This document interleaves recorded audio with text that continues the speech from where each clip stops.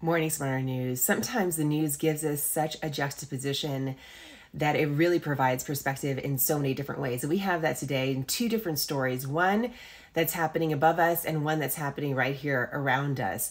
It actually sort of took my breath away watching the news this morning. Or, or it could just be that the altitude where I am right now, which is Montana.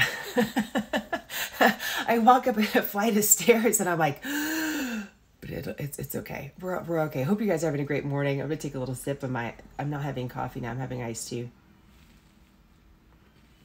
Take it down a notch just to make sure I don't I don't talk too quickly. What I was watching this morning is this. Let me go ahead and pull this up for you. You might have heard something about this this morning. This is the launch of the Blue Origin spacecraft that took four people, including Jeff Bezos, Amazon founder and richest man in the world, to space. It's incredible to watch. It's about 11 minute trip.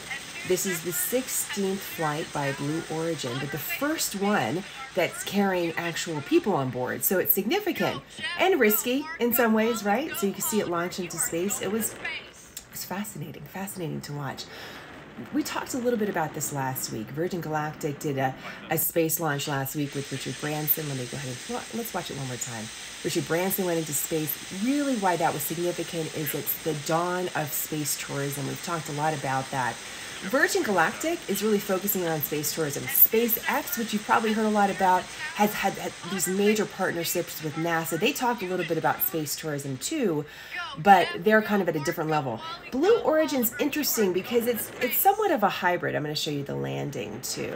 And in some ways, Jeff Bezos has been very mysterious about exactly what he's going to be doing with Blue Origin over the next several years. Let me pull up the landing for you. This was also really cool to watch because you're going to see the parachutes come out in just a moment. Oh, so far, a nominal there flight. they are. Here so in some ways, Blue Origin is a little bit of a hybrid. Yes, space tourism is part of this, but also a question about how this technology is going to be used in different ways, business, partnerships, and otherwise. So what you should know is it was a successful flight. They come back down to Earth and it's interesting. Richard Branson again last week sort of beat Jeff Bezos as the first billionaire to get up into space in his own project. But Jeff Bezos actually went a little bit higher. There's something called the Kármán line. That's what's distinguished as or determined by the international community as when space begins. It's about 60 miles above where you are right now. Uh, Richard Branson went about 50 miles. Jeff Bezos went a little bit higher. So one went first, one went higher. Men. they had a little competition. But this was a big day to day, historic for Blue Origin to go up into space and really remarkable to watch. So we'll try to bring some of that video for you to continue to watch. I'm getting a little bit of a poor connection. Isn't it fascinating, by the way, that we can get people into space in 11 minutes? And I could have really bad internet connection bad internet connection in Montana, but also where I live in Austin and also where I lived in San Francisco and in New York City. You know, I wrote an editorial about internet connection and Wi Fi access as one of the big issues going into the 2020 election. I couldn't get anybody to publish it. I really think it's a big deal. We're getting impacted by it now, but I think it's significant, not just for businesses, but remember, all of our students were online last year, right? Do you guys have problems with your internet? I do. And everyone's like, ah, sorry, you know? All right, the second story I want to tell you about. So, what, what we're talking about is again the contrast the contrast of sending people into space, but then also what's happening here here on earth. And one of the big stories I talked to you about a little bit yesterday is what's happening at the US border. And I think this is really significant because we're seeing historic record numbers at the US border of attempted entries what I was able to receive from the Big Bend sector. Remember, Customs Border Protection has a lot of different sectors, and they're all along the border. Let me pull up a map to show you. This border, this map's sort of helpful because the red lines are where the border wall is, and where there's not a border wall, you can see it's just sort of like the the gray line. The you know the important thing to know about the border wall is a border wall can't go everywhere because of the terrain. One of the areas it's uh, that I'm sort of interested in is this Big Bend sector because it's not an area that I associate with the border just naturally. It's where Marfa is, it's a big tourist area, Big Bend National Forest, beautiful area in Texas, but they certainly have uh, active uh, border patrol issues. And this is what I received just during a press release last week. So this was accessible to a lot of media.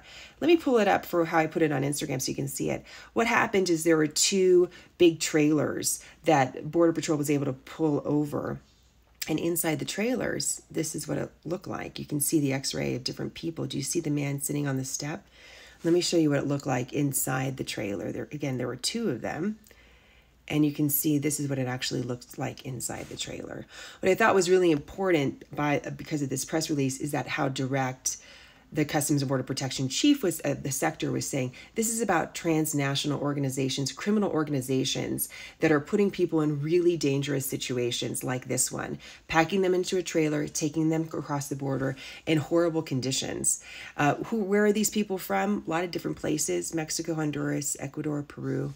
That's what was in the press release. But I want to show you something else that I also think is important so that you understand it's not just about the numbers. I was talking about the numbers yesterday. The other thing, a trend I'm seeing over the last several months is the reemergence of these really large groups. So large groups are usually categorized as anything over a hundred people that are coming across the border at one time or attempting to. In this press release, you can see one group had more than 230 um, people that were together. And I can see here 187 family members, 27 unaccompanied children, 21 single migrants. The migrants is the term that Customs and Border Protection uses the US government. I prefer people. I think migrants is a, term that um, in some ways doesn't put someone on equal footing. These are people that are that are being put in these very dangerous situations. What I've learned from my reporting and why I think this is really important for you is when there are large groups that come across the border, who's organizing those groups? Human smugglers. Human smugglers often attached to drug cartels what I've learned talking to Border Patrol is when you have these large groups go one direction around the border, Border Patrol has to handle that. When they're paying attention to those large groups, what do you think is happening in another area? The drug cartels know that they're paying attention to the large groups and they're going another direction. This is based strictly on conversations with Border Patrol. So when we're talking about the border, it's not just about what's happening at the border and a debate about immigration. It's also about bad guys and what they're doing, what they're doing to people, innocent people, and what they're doing to bring drugs into the country. And we can have all sorts of long debates about this. I just want you to be very aware of what's going on. I was really interested to look at the White House press briefing yesterday to see if there was any commentary, more commentary on what's happening at the border. I was really surprised not even to see one question about this. I think this is one of the biggest stories in the nation because there's so many different threads to pull from the economy, national security, and simple basic human rights, you know, humanity. So this is a story that we're going to continue to watch on SmartHER News. So two very different stories today, talking about very different technology. I always say, and I think this is important to think about. I can sit right now and I can use Amazon and send a roll of toilet paper to my house by the end of the day. Okay? Not choosing to solve some of these other problems in the country is a choice. It's not from a lack of technology, it's from a lack of will. And so that's how I look at things. If we can do that and we can send people into space, in 11 minutes, imagine what we can do. We can do a lot of really interesting things. We can solve a lot of problems, can't we? So when we don't do it, I think, well, why are we choosing not to? And what are the dynamics? How do we report on that? So these are the stories that I'm interested in today. Hope you're having a great day wherever you are. We're going to be doing a little bit of traveling. And quite frankly, we're leaving the location we're in because even though we're traveling with our kids, we can we are working and we're not able to do that because of the bad connection. So we're actually going to be moving. So my next couple days might be a little bit um sporadic, intermittent, sort of like my internet connection today.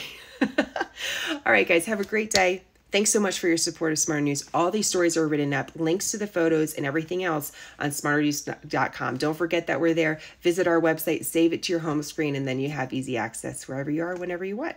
Have a great day.